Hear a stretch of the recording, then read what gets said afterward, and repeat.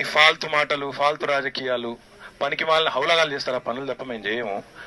దమ్మున్నోడు ఉంటే దమ్మున్నోడు ఉంటే ప్రజలకు ఏం చేస్తావో చేయమను. ఈ ఫాల్తు మాటలు ఫాల్తు రాజకీయాలు ఎందుకే నాకు అర్థం కాదు. నేను ఇస్తా. మోడీ నీమంట ఇంకో నీమంట.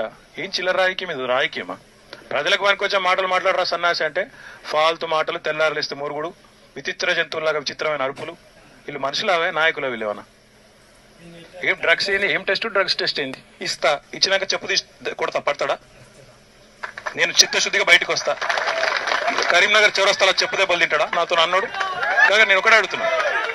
కాగా నేను కుల్లా అంటున్నా. డ్రగ్స్ కాదు నా నా రక్తం తీస్తాడా? నా చర్మం తీసుకోపోతారా ఏం తీసుకోదా తీసుకుపోమను నా బొచ్చు కాదు బొచ్చు కూడా ఇస్తా.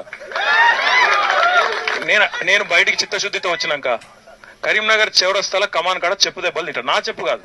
చెప్పు కదా. మళ్ళీ అట్లా అంటే అవమానపరిచిండు ఇంకేదైనా తొక్కలో రాగాలు తీస్తారు. ఆయన చెప్తారు ఆయన కొట్టుకుంటాడా? కరీంనగర్ కమాన్ కాడ కొట్టుకోవాలి. దీనికి సిద్ధమైతే చెప్పు. ఇక్కడనే ఉంటా రమ్మను.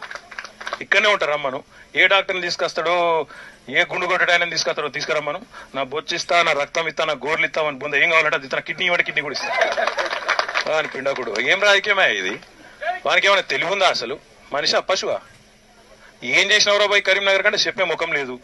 పిచ్చార్పులు గావు కేకలు పెడబొబ్బలు హౌల మాటలు చెప్పు ఒక్కడు చెప్పమని ఏం చేసిన కరీంనగర్? కానీ తీగలగుట్ట కాడ తీగలగుట్ట పల్లి కాడ కనీసం ఆరోపి తెచ్చే ముఖం ఉన్నదా ఆయనకు? గది కూడా కాదు. ఏంద్రాబాయ్ అంటే హిందూ. పోను టెంపుల్కో నాలుగు పైసలు తెచ్చినవా? కొండగట్ట అంజనకు నాలుగు పైసలు తెచ్చినవా? ఏమిలాడకు తెచ్చినవా? దేనికి తెచ్చింది చెప్పు? నీదేంది వెలుగా? గదే అర్థమైంది. రైట్.